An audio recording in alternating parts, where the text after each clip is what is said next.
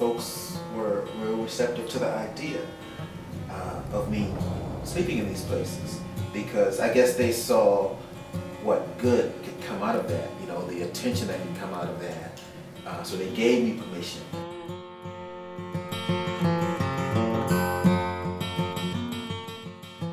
One of my first questions as I approached this building and seeing that it was made of brick was, you know, who made the bricks? Who actually physically constructed the building? Who laid these bricks?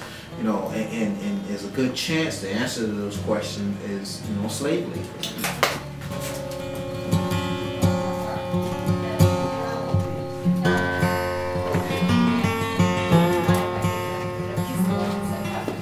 It's been um, quite successful. I've stayed in 27 places to date in eight different states. But it's, it's, it's, it's about all the people who stayed in those places and the fact that they did not get the attention that they got, that they, that they so rightly deserved when they were here um, on this earth.